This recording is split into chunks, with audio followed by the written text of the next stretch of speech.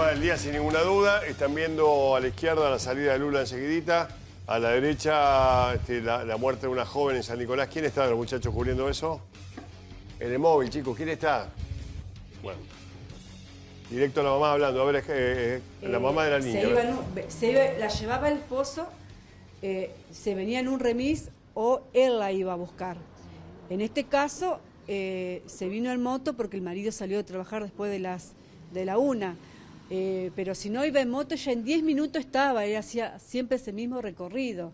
O sea que si ella hubiese tenido sospecha de que alguien la estaba siguiendo, de que alguien la estaba acosando, evidentemente ella nos hubiese dicho y hubiese denunciado, porque ella con los horarios que tiene es obvio que corre riesgo en cierta hora. Los vecinos nos comentaban que su historia era otra, su historia estaba metida en el casamiento. Perfecto. Ella se estaba por casar eh, el primero de febrero. Ya teníamos todo casi listo. Y aclaro eso, porque se dijo en un principio que ella había tenido problemas con el esposo. Nada que ver. Puede haber sido una discusión como la tenemos cualquier eh, pareja, un sí, un no. Al otro día incluso habían quedado y hacer trámites ante una escribanía previos a la, al casamiento. Y bueno, eh, quedaron en encontrarse y ella nunca más regresó. ¿Qué le gustaría decirnos de, Silvia?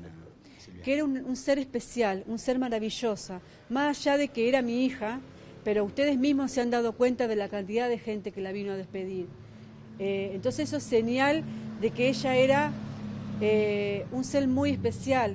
Ella se desempeñaba como eh, enfermera en la parte de terapia del Hospital San Felipe y ella estaba a cargo de todos esos hijos de puta que entraban. ¿Por qué? Porque te asaltaban a vos y le metían un tiro o porque cuchillaban y ella los atendía como si fuéramos uno de nosotros. Y ella sabía que ese hijo de puta había matado a Ese- ese día alguien. fue un día normal. este, Normal. Según sus compañeros. no- Normal, no- no ella estuvo nor- no, ella estuvo normal. Yo hablaba generalmente hablo todas las noches con ella por teléfono. Y ese día yo había trabajado todo el día y cerca de las 22 le mando un mensaje si estaba trabajando. Me dice, "Sí, mami, estoy trabajando." Entonces me dice, "¿Cómo estás vos?" No, estoy cansada porque trabajó todo el día. Ah, mami, bueno. Y ahí nomás, seguramente ha tenido mucho trabajo que no me llamó. Silvia, sabemos- si no acostumbraba ella a llamarme por que teléfono. el presidente, dicho sea de paso, recién nos comentaban que estuvieron eh, rezando el rosario. ¿Cree únicamente en la justicia de un ser divino, de Dios, o de la de los hombres? También la de los hombres. Tiene que haber justicia para de los hombres. Tiene que haber porque esto no se tiene que volver a repetir con ningún ninguna otra persona, ya sea chico o hombre. Yo le pediría pena de muerte, porque él mató a mi hija. ¿Eh? Entonces vos matás a dos, tres hijos de puta que violan a chicos, a criaturas, y no va- se van a cuidar de volver a violar. ¿eh? Silvia, eh, Está al tanto que hay una marcha que Sí, sí, toda la estoy al se tanto. quiere movilizar. ¿Qué, Estoy al ¿qué reacción tanto. le genera eso? ¿Va a participar? No, no sé si estoy en condiciones de participar, pero eh, yo estoy a favor de la pena de muerte. Yo trabajé toda la vida con médicos que han traído gen- niños al mundo. ¿Eh? Y yo sé que todos tenemos derecho a la vida, pero en estas condiciones, con esa gente que no se regenera más, no sirve. Sale Lula. Atento ahí a ver qué está pasando. En este momento la salida. 6 menos 20 de la tarde.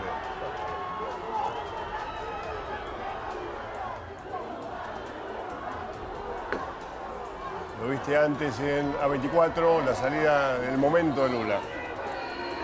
England.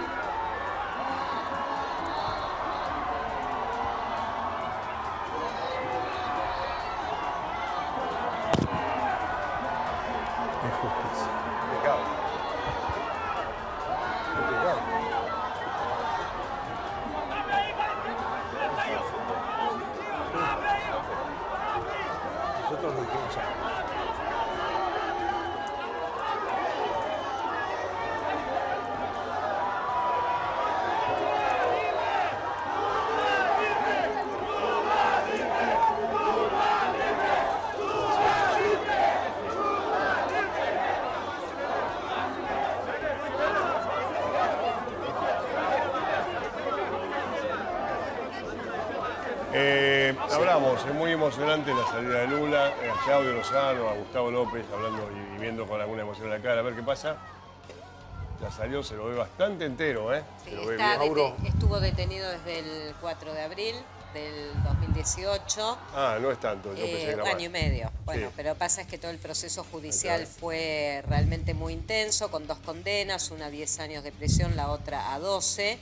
Eh, está saliendo Lula da Silva porque en realidad no tiene condena firme eh, en ninguna de las dos y por lo tanto ayer el Tribunal Superior de Justicia decidió que debía habilitarse el tratamiento justamente Yo- de la revisión de esta situación de Lula y hoy quedó libre. Más de un policía militar lo ha tratado muy bien, ¿eh?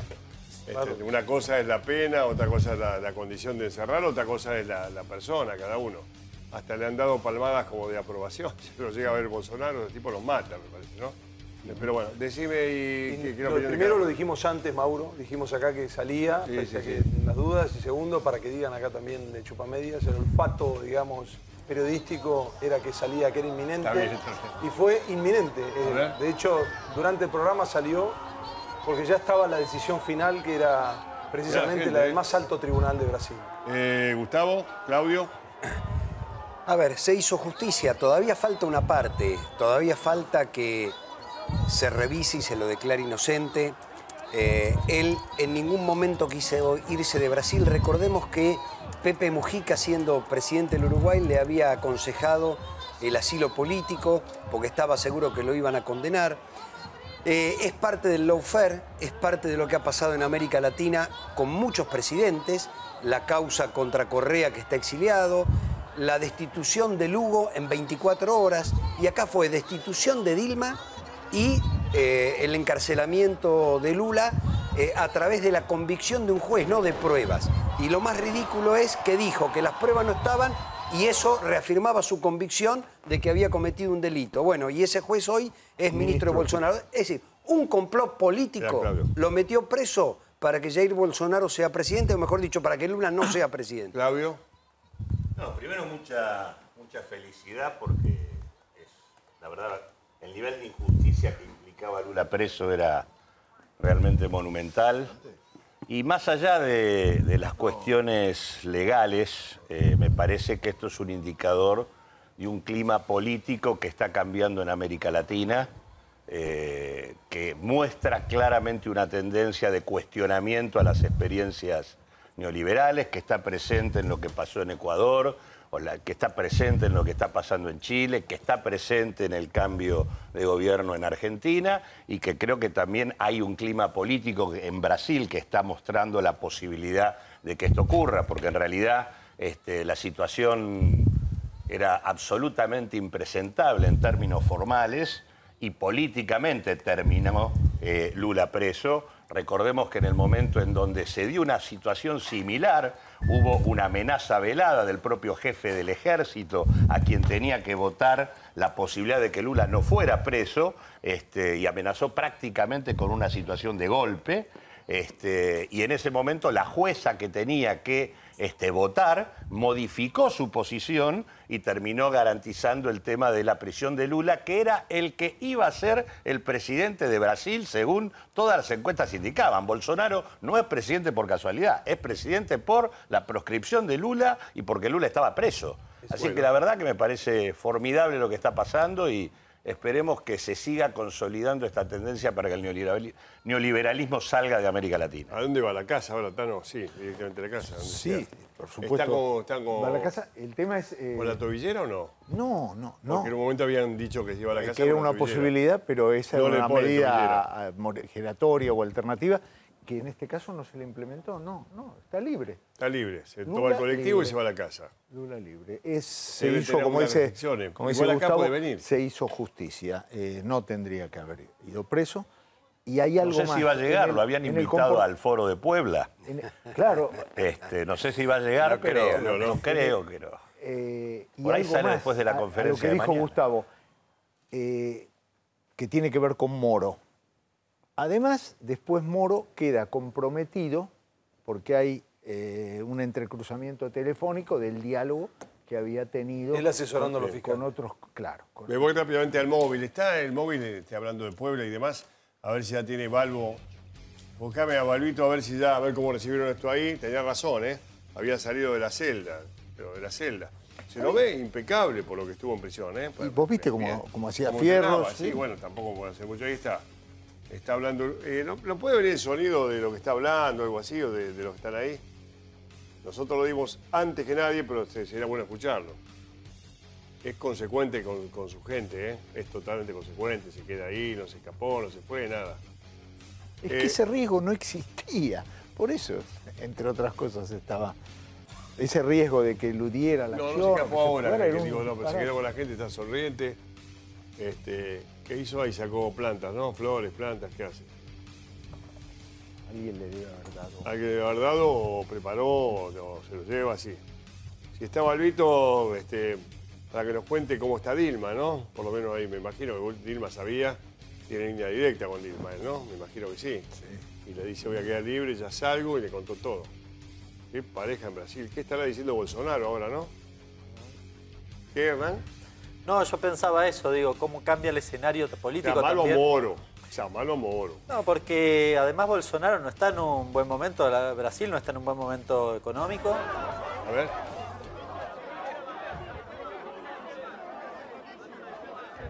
Ahí está el audio, ahí está llegando. Sonido ambiente. da liberdade. Então vamos ouvir, vai ser um ato rápido e para nós não perdermos tempo, nós vamos ouvir de forma rápida e imediata o nosso companheiro Lula. Ha pasado a ser el tema del día Alejo, va a ser tapa de todos los diarios del mundo, ya debe estar. Nós estamos aqui Ya debe haber tweet de Alberto y demás, ¿eh? 580 A ver. dias, 580 dias. E essa vigília, essa vigília tinha três objetivos para alcançar. O primeiro objetivo era fazer a denúncia do sequestro político do presidente Lula. Denunciar para o mundo todo o seu sequestro.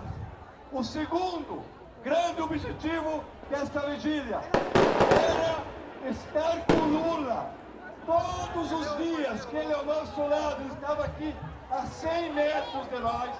Todo dia a vigília tinha como objetivo transferir para ele o calor humano como que ele está vendo aqui hoje aqui. Ser o calor humano para ele, para alimentar a nossa luta e alimentar a luta do Lula. No, bueno, ni lo dejaron hablar todavía. No, va a dar una conferencia de prensa mañana. Sí, va a dar. libertarmos o Sí. Lula e a partir Mañana, daí reconstruir um grande processo de luta social para nós reconstruir o Brasil com os trabalhadores. Então ele, ele é esse alimento vivo nosso e alimenta a vigília e alimenta todos nós nessa grande batalha de conquista da liberdade. E nesse sentido, Lula estaba de novio, ¿no? ¿Se acuerdan que tenía una novia y se iba a casar? ¿Lo sabía? Octavio. Sí, sí, dijo que se iba a casar. Se iba a casar con una profesora de historia, algo así. Así es. La chica de anteojos. Ah, ¿es esa? Sí. ¿Está acá? Ah, olé, olé, olé. Mirá, yo pensé que era argentino eso. Pensé que lo había inventado Gustavo López.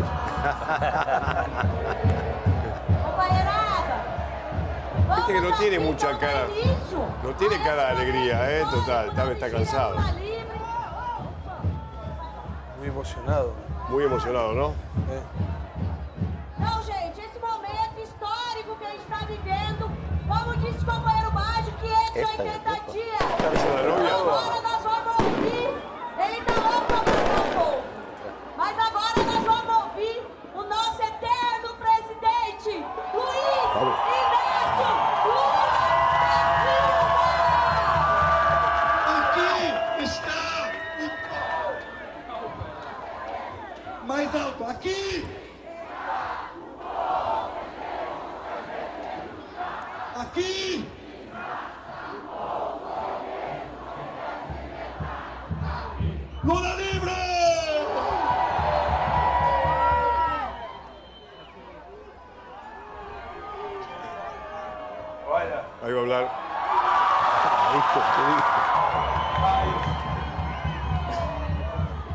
muito tempo que eu não vejo o microfone na minha frente. Déjenme hablar, Claudio, Gustavo. No le tienen cohete, ustedes que son. Olha, queridos companheiros, e queridas companheiras, vocês não têm dimensão do significado de eu estar aqui junto com vocês. Eu, que a vida inteira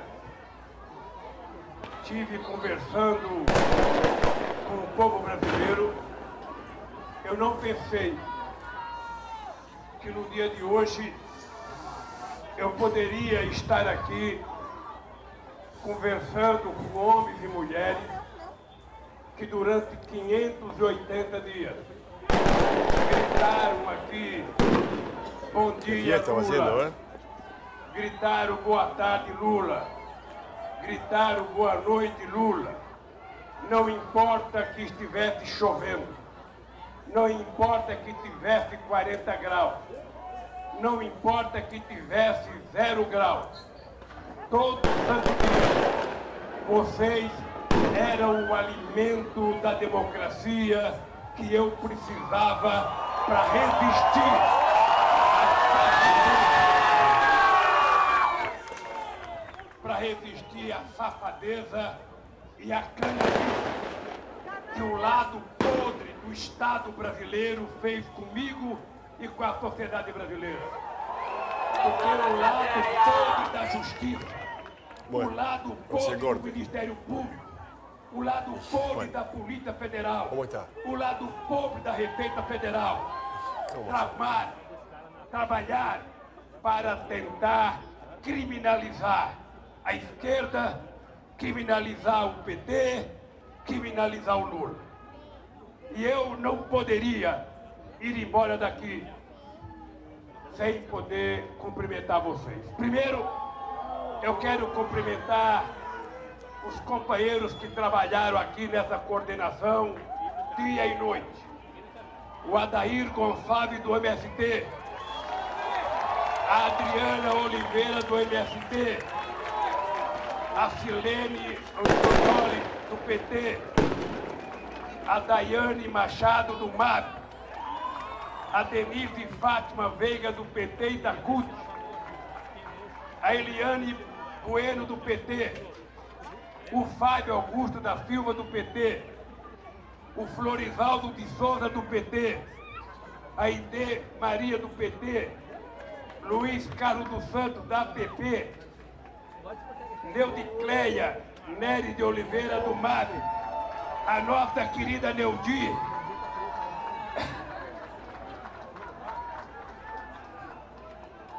Quero. Onde é que eu parei aqui? O companheiro Pedro Carrano, Consulta Popular. O companheiro Raul de Paris, MAP. Regina Cruz da CUT. Nossa querida Regina. Aonde é que eu parei aqui? Cadê a Regina? Ah, o Roberto Baggio. Cadê o Baggio? Baggio.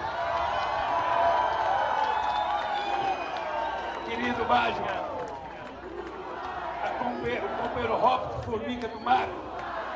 A companheira Rosane da Silva PT.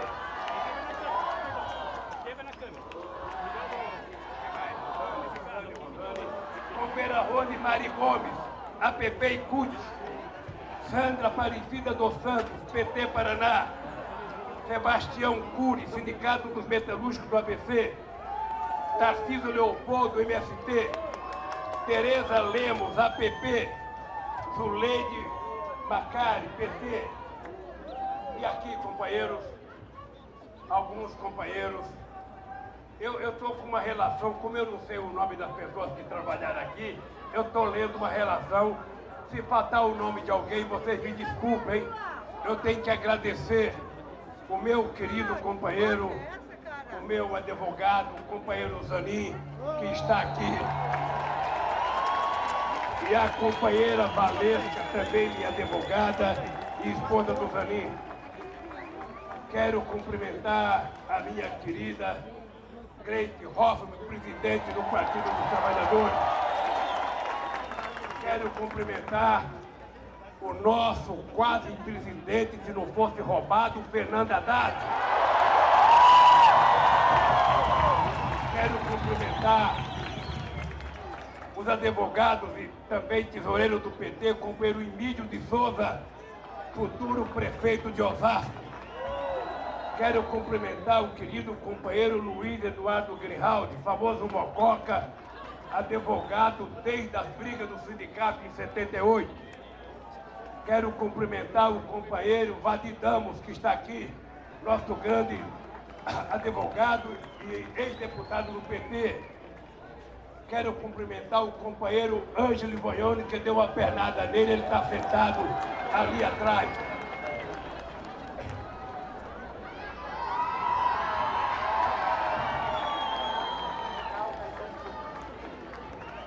Quero cumprimentar o companheiro Nelson do Sindicato dos Metalúrgicos que está aqui, sabe? Muito solidário. Quero cumprimentar o companheiro Lindbergh, nosso ex-senador, quem sabe futuro não sei o quê. Nosso companheiro Marrone, nosso companheiro ex-prefeito de Pelota, ex-deputado federal. Agora quero cumprimentar duas figuras que eu não conhecia quando cheguei aqui.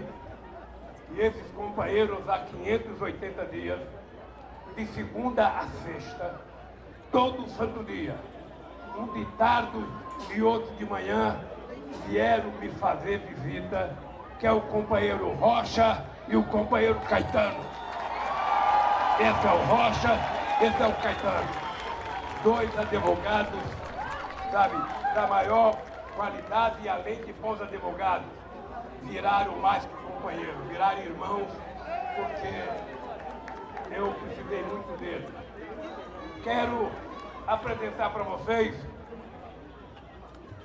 companheiro Rosinha, nosso querido presidente do PT estadual, ex-presidente, que vai deixar uma maravilhosa. Quero cumprimentar o companheiro Marcola, que é companheiro, companheiro que me subsidiava de material, de informações e também com quem eu poderia dar um esporro de vez em quando, que era o Marcolinha, a Nicole que fazia o meu Twitter. O Bolsonaro, ele diz que tem mais de 20 pessoas que fazem o Twitter dele. Eu só tenho uma pessoa e ela tem cara e nome, que é a Nicole. Quero Ô, gente, eu quero agradecer. Eu tenho muita gente para agradecer. Os companheiros do PSOL, os companheiros do PCB, os companheiros do PCO. E eu quero o nosso querido companheiro Stuka, o grande fotógrafo da. Eu não sei se é eu que não saberia viver sem ele ou ele não saberia viver sem mim, porque depois que ele parou de tirar foto minha, ele caiu um pouco no ibope aí. Queria apresentar a minha filha Lurian, apresentar, apresentar o meu neto Tiago. Eu não posso apresentar o meu companheiro da segurança, o Moraes, que é o chefe, está aqui, só para lembrar que não é apenas o Bolsonaro que é capitão, o Moraes também é capitão. Eu tenho o meu capitão, que não se aposentou como tenente e virou capitão, não. Esse aqui se aposentou como capitão de verdade. Então, se um dia o Bolsonaro encontrar com você, é ele que tem que bater continência para você. É. Ô, gente, quero, quero apresentar para vocês uma pessoa que eu já falei, eu já falei, mas nem todos vocês conheciam. Eu quero apresentar a minha futura companheira, a doutora Vocês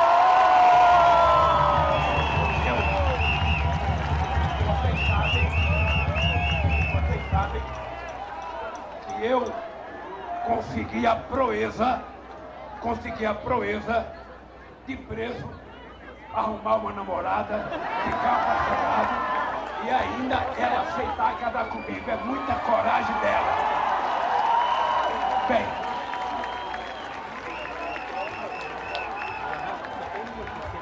Não.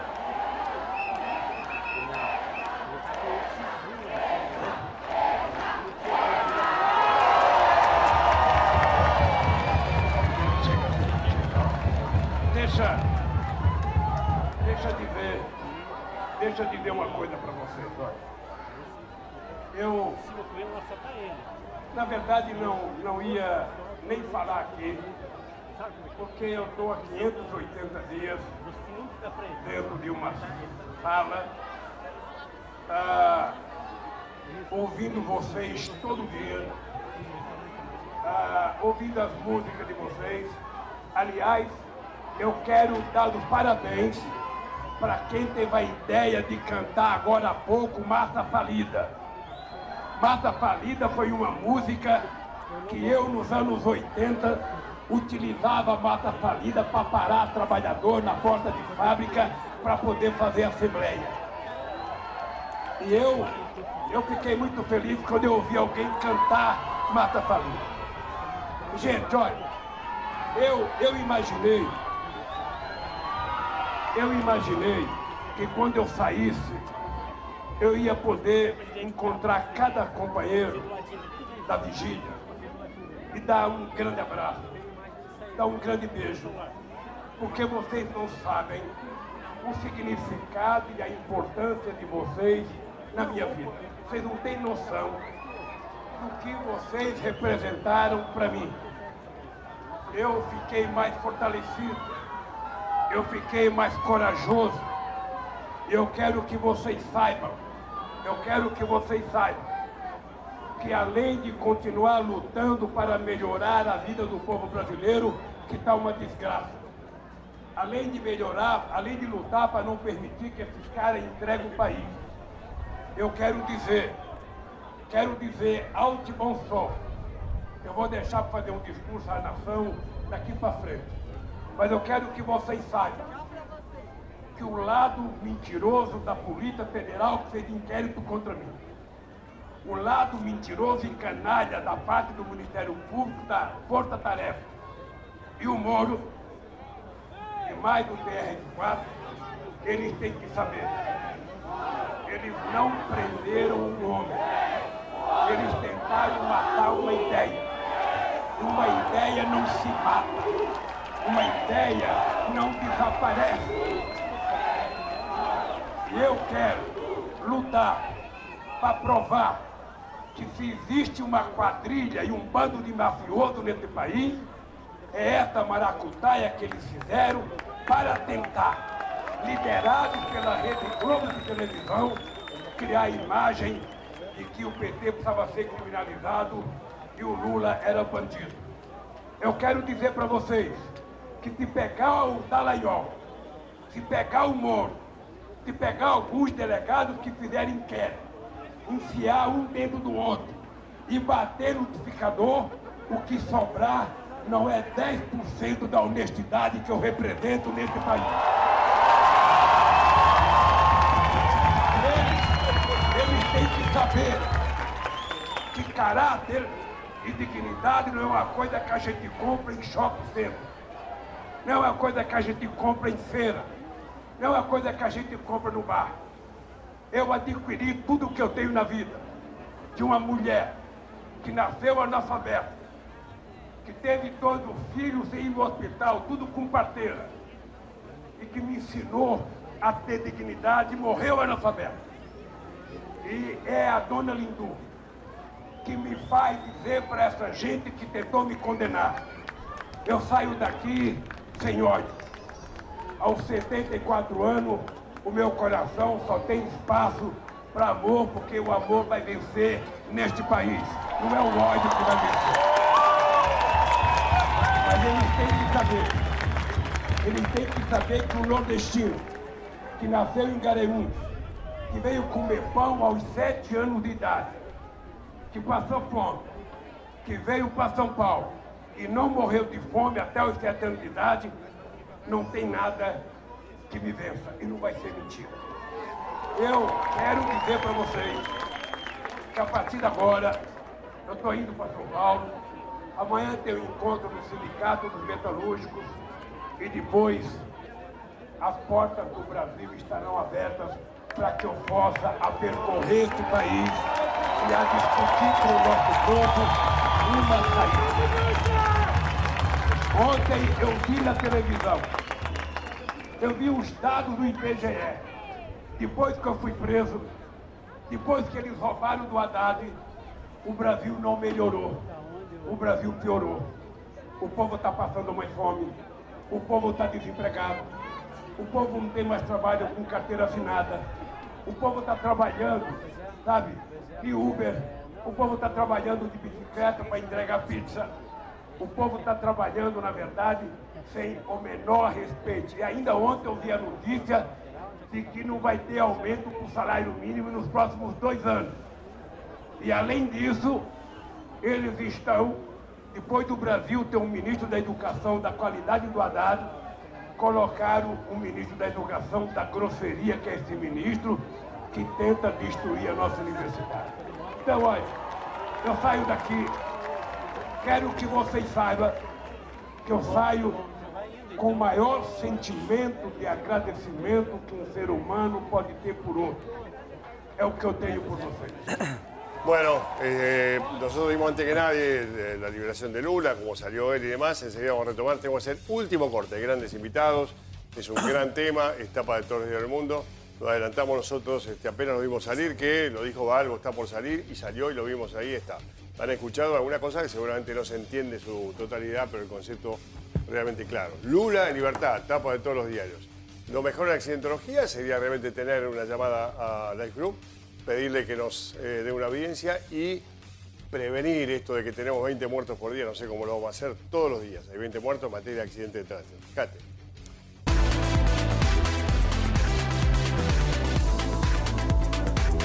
Life Group es la única empresa en Argentina que efectúa relevamientos de siniestros en vía pública, determinantes para la resolución efectiva en todo tipo de accidente. Contáctese al 4 373 4499.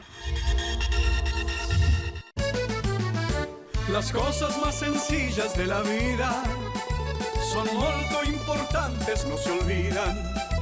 La pasta del domingo, la alegría y el aroma pomarola en la cocina.